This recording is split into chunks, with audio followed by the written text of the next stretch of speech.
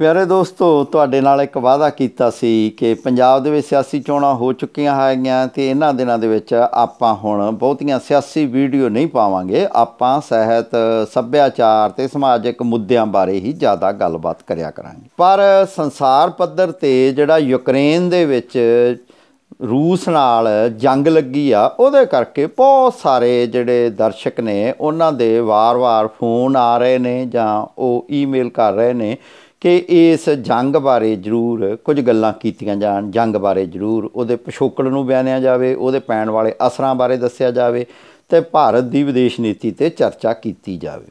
ਤਾਂ ਉਸ ਸਥਿਤੀ ਦੇ ਵਿੱਚ ਅੱਜ ਆਪਾਂ ਇਸ ਯੂਕਰੇਨ ਵਾਲੀ ਜੰਗ ਬਾਰੇ ਗੱਲਬਾਤ ਕਰ ਰਹੇ ਹਾਂ। ਪਹਿਲਾਂ ਤਾਂ ਮੋਟੇ ਜਿਹੇ ਤੌਰ ਤੇ ਜਿਹੜੇ ਸਾਡੇ ਦਰਸ਼ਕ ਨੇ, ਉਹਨਾਂ ਨਾਲ ਇਹ ਗੱਲ ਸਾਂਝੀ ਕਰਨੀ ਬਣਦੀ ਆ ਕਿ ਯੂਰਪ ਦਾ ਇੱਕ ਦੇਸ਼ ਆ ਯੂਕਰੇਨ, ਜਿਹਦੀ ਹੱਦ ਪੋਲੈਂਡ ਨਾਲ ਲੱਗਦੀ ਆ, ਰਮਾਨੀਆ ਨਾਲ ਲੱਗਦੀ ਆ, ਹੰਗਰੀ ਨਾਲ ਲੱਗਦੀ ਆ ਤੇ ਇਹ ਜਿਹੜਾ ਦੇਸ਼ ਹੈਗਾ, ਇਹ ਕਿਸੇ ਸਮੇਂ, ਹੁਣ ਸੁਤੰਤਰ ਦੇਸ਼ ਆ, ਪਰ ਕਿਸੇ ਸਮੇਂ ਇਹ ਸੋਵੀਅਤ ਯੂਨੀਅਨ ਦਾ ਅੰਗ ਹੁੰਦਾ ਸੀ। ਕਹਿ ਸਕਦੇ ਆ ਕਿ 1917 ਤੋਂ ਲੈ ਕੇ ਜਾਂ 1920 ਤੋਂ ਲੈ ਕੇ ਇਹ ਲਗਭਗ 1990 ਤੱਕ ਜਿਹੜਾ ਇਹ ਰੂਸ ਦਾ, ਸੋਵੀਅਤ ਯੂਨੀਅਨ ਦਾ ਅੰਗ ਰਿਹਾ ਹੈਗਾ। ਉਸ ਸਮੇਂ ਜਦੋਂ ਸੋਵੀਅਤ ਯੂਨੀਅਨ ਡਿਸਇੰਟੀਗ੍ਰੇਟ ਹੁੰਦਾ ਹੈ ਤੇ ਇਹ ਦੇਸ਼ ਵੀ ਆਜ਼ਾਦ ਮੁਲਕ ਬਣ ਗਿਆ। ਇਹ ਆਜ਼ਾਦ ਮੁਲਕ ਬਣ ਗਿਆ ਤਾਂ ਬਹੁਤ ਸਾਰੇ ਜਿਹੜੇ ਦੇਸ਼ ਨੇ, ਜਿਹੜੇ ਸੋਵੀਅਤ ਯੂਨੀਅਨ ਨਾਲੋਂ 15 ਦੇਸ਼ ਟੁੱਟੇ ਸੀਗੇ, ਉਹ ਸਟੇਟ ਆ ਜਿਹੜੇ, ਉਹਨਾਂ ਨੂੰ ਲਗਾਤਾਰ ਜਿਹੜਾ ਅਮਰੀਕਾ ਜਾਂ ਯੂਰਪ ਜਾਂ ਜਿਹੜੀ ਨਾਟੋ ਆ, ਉਹ ਅਕਸਾਉਂਦੀ ਰਹਿੰਦੀ ਆ ਕਿ ਤੁਸੀਂ ਨਾਟੋ ਦੇ ਮੈਂਬਰ ਬਣੋ ਤੇ ਰੂਸ ਨਾਲ ਵਿਰੋਧ ਵਿੱਢੋ। ਬਿਨਾਂ ਸ਼ੱਕ ਬਹੁਤ ਸਾਰੇ ਜਿਹੜੇ ਦੇਸ਼ ਹੈਗੇ ਆ, ਉਹ ਹਜੇ ਵੀ ਕਿਹਾ ਜਾ ਸਕਦਾ ਕਿ ਰੂਸ ਪੱਖੀ ਝੁਕਾਓ ਰੱਖਦੇ ਆ, ਭਾਵੇਂ ਸੁਤੰਤਰ ਦੇਸ਼ ਬਣ ਗਏ। ਕੁਝ ਦੇਸ਼ ਆ ਜਿਹੜੇ ਉਹ ਜਿਹਨੂੰ ਕਹਿ ਸਕਦੇ ਆ ਕਿ ਨਾਟੋ ਦਾ ਹਿੱਸਾ ਵੀ ਹੋ ਗਏ, ਜਿਵੇਂ ਪੋਲੈਂਡ ਆ, ਪਰ ਯੂਕਰੇਨ ਬਾਰੇ ਹੁਣ ਤਾਜ਼ਾ ਸਥਿਤੀ ਇਹ ਬਣੀ ਕਿ ਉਸ ਨੇ ਕੁਝ ਮੀਟਿੰਗਾਂ ਕੀਤੀਆਂ ਕਿ ਉਹ ਨਾਟੋ ਦਾ ਹਿੱਸਾ ਬਣੂਗਾ। ਇਹ ਗੱਲ ਰੂਸ ਨੂੰ ਪਸੰਦ ਨਹੀਂ ਆਈ, ਇਹ ਗੱਲ ਪੂਤਨ ਨੂੰ ਪਸੰਦ ਨਹੀਂ ਆਈ। ਇਹ ਤਾਂ ਇਹਦਾ ਤਤਕਾਲੀ ਪਿਛੋਕੜ ਆ। ਅਸਲ ਕਾਰਨ ਇਹ ਆ ਕਿ ਠੰਡੀ ਜੰਗ ਤੋਂ ਬਾਅਦ ਵੀ, ਖਤਮ ਹੋ ਜਾਣ ਤੋਂ ਬਾਅਦ ਵੀ, ਸੋਵੀਅਤ ਯੂਨੀਅਨ ਦੇ ਢਹਿ ਹੋ ਜਾਣ ਤੋਂ ਬਾਅਦ ਵੀ ਰੂਸ ਤੇ ਅਮਰੀਕਾ ਦੀ ਜਿਹੜੀ ਦੁਸ਼ਮਣੀ ਆ, ਜਾਂ ਕਹਿ ਲਓ ਕਿ ਸੁਪਰਾਮੇਸੀ ਦੀ ਜਿਹੜੀ ਦੌੜ ਆ, ਉਹ ਖਤਮ ਨਹੀਂ ਹੋਈ। ਤੇ ਰੂਸ ਦੇ ਜਿਹੜੇ ਹਿੱਤ ਨੇ, ਉਹ ਇਸ ਗੱਲ ਵਿੱਚ ਨੇ ਕਿ ਉਹ ਯੂਰਪੀਅਨ ਜਿਹੜਾ ਹੈਗਾ ਕੰਟੀਨੈਂਟ, ਉਹਦੇ ਵਿੱਚ ਅਮਰੀਕਾ ਦੀ ਚੜ੍ਹਤ ਨੂੰ ਰੋਕੀ ਰੱਖੇ ਤੇ ਆਪ ਦਾ ਪੱਖ ਮਜ਼ਬੂਤ ਕਰਦਾ ਰਹੇ।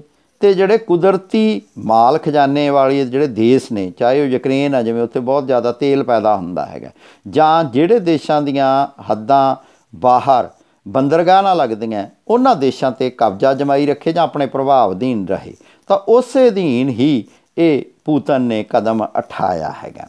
ਤਾਂ ਦੂਸਰਾ ਜਿਹੜਾ ਵੱਡਾ ਕਾਰਨ ਇਹਦਾ ਇਹ ਬਣਿਆ ਕਿ ਜਿਹੜਾ ਯੂਕਰੇਨ ਆ, ਉਹ ਜਿਹਨੂੰ ਕਹਿ ਸਕਦੇ ਆ ਕਿ ਸੋਵੀਅਤ ਰੂਸ, ਜਿਹਨੂੰ ਹੁਣ ਰੂਸ ਕਹਿੰਦੇ ਆ ਉਸ ਦੇ ਵਿੱਚੋਂ ਭਾਵੇਂ ਟੁੱਟਿਆ ਕਿਸੇ ਸਮੇਂ। ਪਰ ਉਹ ਰੂਸ ਤੋਂ ਬਾਅਦ ਯੂਰਪ ਦਾ ਦੂਜਾ ਵੱਡਾ ਇਲਾਕੇ ਇਲਾਕੇ ਦੇ ਹਿਸਾਬ ਨਾਲ ਦੂਜਾ ਵੱਡਾ ਕੰਟਰੀ ਹੈਗਾ। ਪਰ ਉੱਥੇ ਨੇਚਰਲ ਰਿਸੋਰਸ ਵੀ ਬਹੁਤ ਨੇ, ਪਰ ਉੱਥੇ ਗਰੀਬੀ ਆ ਤੇ ਉੱਥੋਂ ਬਾਕੀ ਯੂਰਪੀਅਨ ਯੂਨੀਅਨ ਦੇ ਮੁਕਾਬਲੇ ਉੱਥੇ ਗਰੀਬੀ ਆ। ਇੱਕ ਪਾਸੇ ਤਾਂ ਉਹ ਦੇਸ਼ ਆ ਕਿ ਜਿਨ੍ਹਾਂ ਕੋਲੇ ਬਹੁਤ ਜ਼ਿਆਦਾ ਪੈਸਾ ਹੈਗਾ, ਚਾਹੇ ਸਵਿਟਜ਼ਰਲੈਂਡ ਹੋਵੇ, ਚਾਹੇ ਉਹ ਫਰਾਂਸ ਹੋਵੇ, ਚਾਹੇ ਉਹ ਜਰਮਨ ਹੋਵੇ। ਤਾਂ ਈਵਨ ਬੈਲਜੀਅਮ ਪਰ ਦੂਜੇ ਪਾਸੇ ਕੁਝ ਦੇਸ਼ ਆ ਜਿਹੜੇ ਉਹ ਬਹੁਤ ਜਿਹੜੇ ਸਾਬਕਾ ਸੋਵੀਅਤ ਯੂਨੀਅਨ ਤੋਂ ਟੁੱਟੇ ਹੋਏ ਨੇ ਜਾਂ ਜਿਹੜੇ ਦੇਸ਼ ਗਰੀਬ ਨੇ, ਤਾਂ ਉਹਨਾਂ ਵਿੱਚੋਂ ਗਰੀਬ ਦੇਸ਼ਾਂ ਵਿੱਚੋਂ ਆਉਂਦਾ ਤਾਂ ਉੱਥੋਂ ਦਾ ਜਿਹੜਾ ਪਿਛਲੇ ਕੁਝ ਸਮੇਂ ਤੋਂ ਬਾਅਦ 1990 ਤੋਂ ਬਾਅਦ ਜਿਹੜੀਆਂ ਤਬਦੀਲੀਆਂ ਵਾਪਰੀਆਂ, ਉਹਨਾਂ ਚੋਂ ਇੱਕ ਤਬਦੀਲੀ ਇਹ ਵੀ ਵਾਪਰੀ ਕਿ ਜਿਹੜਾ ਸੋਵੀਅਤ ਯੂਨੀਅਨ ਪੱਖੀ ਸ਼ਾਸਕ ਸੀਗੇ, ਉਹ ਪਾਸੇ ਹਟ ਗਏ। ਉਹਦੀ ਥਾਂ ਤੇ ਰੂਸ ਪੱਖੀ ਜਿਹੜੇ ਬੰਦੇ ਆ, ਉਹ ਪਾਸੇ ਹਟ ਗਏ। ਉਹਦੀ ਥਾਂ ਤੇ ਜਿਹੜਾ ਨਾਟੋ ਪੱਖੀ ਜਾਂ ਅਮਰੀਕਾ ਪੱਖੀ ਬੰਦੇ ਉੱਪਰ ਆਏ। ਪਰ ਇੱਕ ਸੁਪਨਾ ਦਿਖਾਇਆ ਗਿਆ ਸੀਗਾ, ਜਦੋਂ ਸੋਵੀਅਤ ਯੂਨੀਅਨ ਨਾਲੋਂ ਦੇਸ਼ ਟੁੱਟੇ, ਉਸ ਸਮੇਂ ਇੱਕ ਸੁਪਨਾ ਦਿਖਾਇਆ ਗਿਆ ਸੀਗਾ ਕਿ ਇਹ ਤੁਸੀਂ ਜਦੋਂ ਡੈਮੋਕ੍ਰੇਸੀ ਨੂੰ ਅਪਣਾ ਲਿਆ, ਜਦੋਂ ਤੁਸੀਂ ਲਿਬਰਲ ਪੂੰਜੀਵਾਦ ਨੂੰ ਅਪਣਾ ਲਿਆ ਤਾਂ ਤੁਹਾਡੇ ਲਹਿਰਾਂ ਬਹਿਰਾਂ ਹੋ ਜਾਣਗੀਆਂ। ਉਹ ਲਹਿਰਾਂ ਬਹਿਰਾਂ ਨਹੀਂ ਹੋਈਆਂ। ਸਿੱਟੇ ਵਜੋਂ ਉੱਥੋਂ ਦੇ ਲੋਕ ਵੀ ਕੁਝ ਨਿਰਾਸ਼ ਚੱਲਦੇ ਸੀ। ਉੱਥੇ ਬਾਗੀ ਵੀ ਸੀਗੇ, ਸਰਕਾਰ ਦੇ ਵਿਰੋਧੀ ਵੀ ਸੀਗੇ, ਤਾਂ ਉਸ ਹਾਲਤ ਵਿੱਚੋਂ ਜੰਗ ਪੱਖੀ ਹੋਈ ਆ। ਬਹੁਤ ਸਾਰੇ ਲੋਕ ਕਹਿੰਦੇ ਆ ਕਿ ਇਹ ਤੀਜੀ ਜੰਗ, ਸੰਸਾਰ ਜੰਗ ਦੇ ਵਿੱਚ ਪਲਟ ਸਕਦੀ ਆ। ਮੈਨੂੰ ਇਸ ਗੱਲ ਦੀਆਂ ਬਹੁਤ ਘੱਟ ਸੰਭਾਵਨਾਵਾਂ ਲੱਗਦੀਆਂ। ਉਹਦਾ ਕਾਰਨ ਕਈ ਨੇ। ਇੱਕ ਕਾਰਨ ਤਾਂ ਉਹਦਾ ਇਹ ਆ ਕਿ ਸੋਵੀਅਤ ਯੂਨੀਅਨ ਤਾਂ ਹੁਣ ਰਹੀ ਨਹੀਂ। ਪਰ ਰੂਸ ਦਾ ਮੰਤਵ ਇੰਨਾ ਕੀ ਆ ਕਿ ਉਹ ਯੂਕਰੇਨ ਦੇ ਵਿੱਚ ਆਪਣੇ ਪੱਖੀ ਸਰਕਾਰ ਕਾਇਮ ਕਰਕੇ ਵਾਪਸ ਚਲਿਆ ਜਾਵੇਗਾ। ਦੂਜਾ, ਲੜਾਈ ਖਿੱਚਣ ਦੇ ਮੂਡ ਵਿੱਚ ਕੋਈ ਵੀ ਦੇਸ਼ ਨਹੀਂ ਆ, ਕਿਉਂਕਿ ਜਿਹੜਾ ਹਸ਼ਰ ਅਮਰੀਕਾ ਦਾ, ਅਫਗਾਨਿਸਤਾਨ ਵਿੱਚ ਹੋਇਆ ਉਸ ਤੋਂ ਪਹਿਲਾਂ ਰੂਸ ਦਾ ਹੋਇਆ ਸੀ, ਜਿਹੜਾ ਹਸ਼ਰ ਵੀਤਨਾਮ ਦੇ ਵਿੱਚ ਅਮਰੀਕਾ ਦਾ ਹੋਇਆ ਸੀ। ਉੱਥੋਂ ਵੱਡੇ ਦੇਸ਼ਾਂ ਨੇ ਇਹ ਵੀ ਸਬਕ ਸਿੱਖਿਆ ਹੋਇਆ ਕਿ ਬਗਾਨੀ ਧਰਤੀ ਤੇ ਜਾ ਕੇ ਲੰਮਾ ਸਮਾਂ ਲੜਨਾ ਔਖਾ ਹੁੰਦਾ ਹੈਗਾ। ਪਰ ਇਹਦਾ ਪ੍ਰਭਾਵ ਬਹੁਤ ਪੈ ਰਿਹਾ ਤੇ ਉਹਦੇ ਵਿੱਚ ਇੱਕ ਪ੍ਰਭਾਵ ਆ ਜਿਹੜਾ ਭਾਰਤ ਦੇ ਵਿੱਚ ਤੇ ਖਾਸ ਕਰਕੇ ਪੰਜਾਬੀ ਲੋਕਾਂ ਤੇ ਪੈ ਰਿਹਾ ਕਿ ਬਹੁਤ ਸਾਰੇ ਜਿਹੜੇ ਸਾਡੇ ਵਿਦਿਆਰਥੀ, ਖਾਸ ਕਰਕੇ ਮੈਡੀਕਲ ਦੀ ਪੜ੍ਹਾਈ ਕਰਨ ਲਈ ਯੂਕਰੇਨ ਵਿੱਚ ਗਏ ਹੋਏ ਸੀ।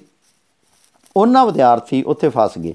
ਤਾਂ ਭਾਰਤ ਦਾ ਹਿੱਤ ਇਸ ਗੱਲ ਵਿੱਚ ਹੀ ਬਣਦਾ ਕਿ ਕਿਵੇਂ ਨਾ ਕਿਵੇਂ ਉਹ ਚਾਹੇ ਰੂਸ ਨੂੰ ਕਿਹਾ ਜਾ ਸਕਦਾ ਕਿ ਬੇਨਤੀ ਕਰਕੇ, ਕੁਝ ਦੇਰ ਲਈ ਜੰਗਬੰਦੀ ਕਰਕੇ ਜਾਂ ਆਪਣੇ ਉਸ ਤੇ ਜਹਾਜ਼ਾਂ ਨੂੰ ਉਹ ਸੋਵੀਅਤ ਜਿਹੜਾ ਰੂਸ ਹੈਗਾ, ਉਹ ਉਹ ਨਿਸ਼ਾਨਾ ਨਾ ਬਣਾਵੇ ਰੂਸ ਨਿਸ਼ਾਨਾ ਨਾ ਬਣਾਵੇ, ਉੱਥੋਂ ਕੱਢ ਕੇ ਲੈ ਆਵੇ ਜਾਂ ਦੂਜੇ ਦੇਸ਼, ਜਿਹੜੇ ਦੇਸ਼ ਦੇ ਨਾਲ ਸਰਹੱਦ ਲੱਗਦੀ ਆ, ਪੋਲੈਂਡ ਵਗੈਰਾ, ਉੱਥੇ ਵਿਦਿਆਰਥੀ ਚਲੇ ਜਾਣ, ਸੜਕੀ ਰਸਤੇ ਤੇ ਉੱਥੋਂ ਉਹ ਇਵੈਕੂਏਟ ਕਰ ਲੈ ਜਾਣ, ਉੱਥੋਂ ਕੱਢ ਲੈ ਜਾਣ, ਇਹ ਹੀ ਸਾਡਾ ਵੱਡਾ ਕੰਸਰਨ ਪਰ ਇੱਕ ਜਿਹੜਾ ਹੋਰ ਇਹਦਾ ਅਸਰ ਪੈਣ ਦੀ ਸੰਭਾਵਨਾ, ਉਹ ਇਹ ਅਸਰ ਪੈਣ ਦੀ ਸੰਭਾਵਨਾ ਹੈ ਕਿ ਇੱਕ ਦਿਨ ਇਸ ਦਾ ਹੁਣ ਕਿਉਂਕਿ ਉਹ ਵੱਡਾ ਤੇਲ ਉਤਪਾਦਕ ਦੇਸ਼ ਸੀ, ਤੇ ਜੰਗ ਸਮੇਂ ਸਾਰੇ ਹੀ ਲੋਕ ਵੱਧ ਤੋਂ ਵੱਧ ਮੁਨਾਫਾ ਕਮਾਉਣਾ ਚਾਹੁੰਦੇ ਆ।